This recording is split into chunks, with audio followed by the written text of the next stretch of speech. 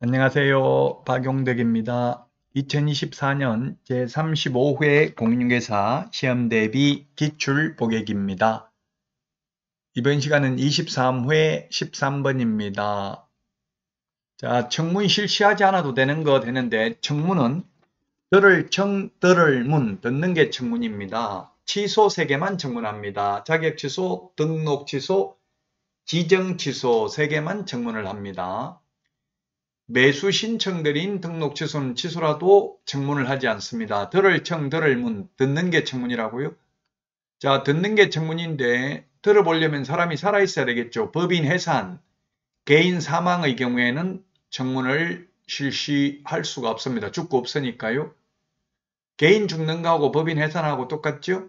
자, 따라서 정답은 2번이 정답이 되겠습니다. 법인 해산 또는 개인 사망의 경우에는 청문을 실시할 수가 없습니다. 들어볼 사람이 없기 때문에 들을 청, 들을 문, 듣는 게 청문이 되겠습니다.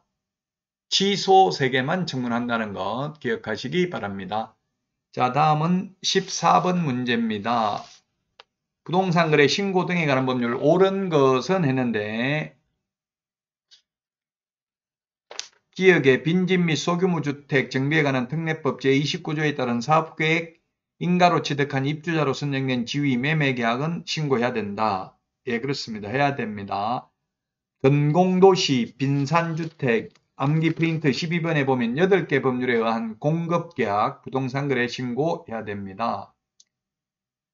니은에 중개거래인 경우에는 일방 당사자가 국가 등이라 하더라도 개업 공인중개사가 신고해야 됩니다. 국가 등이 하는 게 아니고요. 거래 당사자 직거래인 경우에는 국가 등이 하죠. 그러나 중개거래일 때는 반드시 개업 공개사가 해야 됩니다. 그 다음에 디귿은 잔금 지급일로부터 30일이 아니라 계약일로부터 30일 이내에 부동산 거래 신고해야 됩니다. 해제 신고도 해제 등이 확정된 날로부터 30일, 주택임대차 신고도 계약일로부터 30일입니다.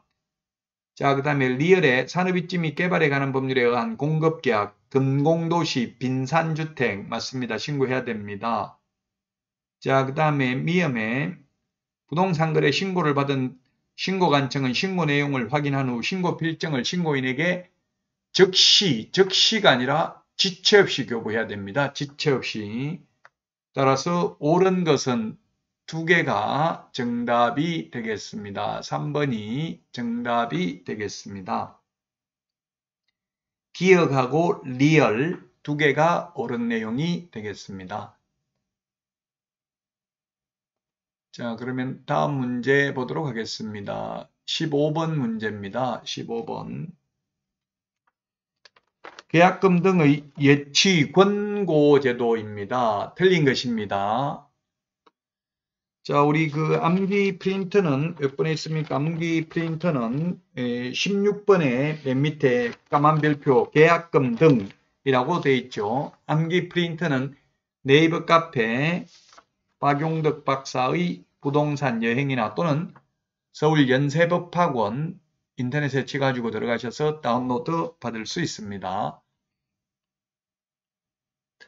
자, 15번 문제인데요. 1번 금융기관에 예치하는 데 소요되는 실비는 특별한 사정이 없는 한 매도인이 부담한다. 이게 틀렸네요. 매도인이 부담하는 게 아니라 권리를 취득하려는 의뢰인이 부담합니다. 매수인이 부담을 하죠. 왜냐하면 매수인이 불안하니까 계약금 등을 금융기관 등에 예치하는 거잖아요. 떼일까봐. 그래서 매수인이 부담합니다.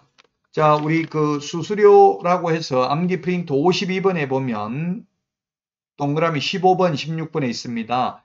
권리관계 등의 확인에 소요되는 실비는 매도 임대 의뢰인이 계약금 등의 예치 권고 제도와 관련된 실비는 매수 임차 의뢰인이 부담한다는 것 기억하시기 바랍니다.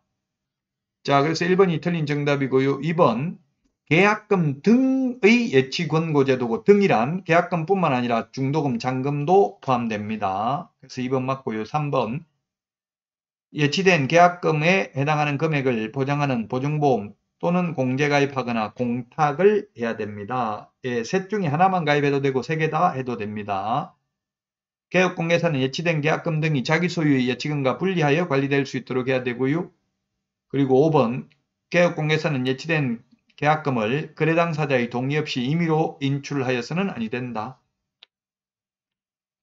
그렇습니다. 네 돈 내 돈 찾았 어, 섞어놓고 찾았으면 안 되겠죠. 자 그래서 1번입니다. 계약금 등의 예치 권고 제도 암기 프린트 16번 맨 밑에 보면 계약금 등이란 계약금 중도금 잔금이고요. 그 다음에 예치 명의자는 개공은 신체 보전 이렇게 암기를 했죠. 개공, 공개사업을 행하는 자, 은행, 신탁업자, 최신관서, 보험업법에 의한 보험회사, 계약 이행관리 전문회사, 예, 개공은 신체 보전 이 일곱 명이 예치 명의자고요. 예치기관은 금융기관 공제사업을 행하는 자, 신탁업자, 반환보증서 발행기관은 금융기관 보증보험회사고요. 예치 권고제도가 아니고 권고제도죠. 광행규정이 아니고 그래서 거래 당사자는 개업공개사 아, 거래 당사자가 아니라 개업공개사는 거래 당사자에게 계약금 등을 거래계약의 이행이 완료될 때까지 예치하도록 권고할 수 있습니다. 그, 그 권고상을 따르고 안 따르고는 거래 당사자 마음이죠. 자, 그래서 1번이 정답이 되겠습니다. 자, 다음은 16번 문제 보도록 하겠습니다. 16번 문제. 부동산 거래 신고 등에 관한 법률 틀린 것입니다.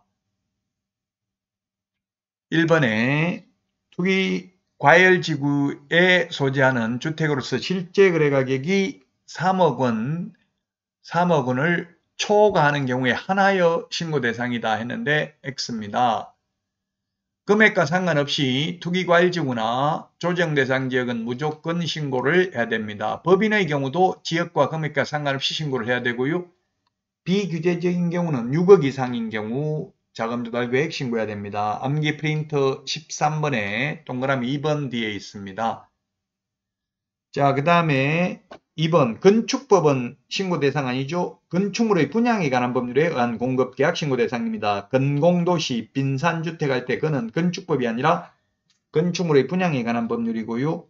그 다음에 3번 거래 당사자 중 매수인이 국가 등인 경우에는 자금조달계획 제출 규정을 적용을 배제한다. 네, 국가 등이 속이는 건 아니니까 국가 등은 자금 조달 계획서 제출 안 해도 됩니다. 자, 그 다음에 4번입니다. 개업공개사가 거래계약서를 작성 교부한 경우에는 일방이 국가 등인 경우에도 개업공개사가 신고해야 됩니다. 국가 등이 신고하는 거 아니고요. 자, 그 다음에 5번입니다. 5번.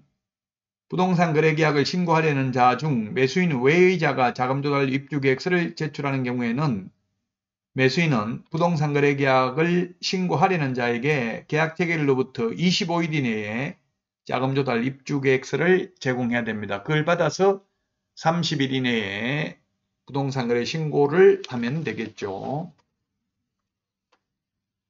1번이 따라서 정답이 되겠습니다.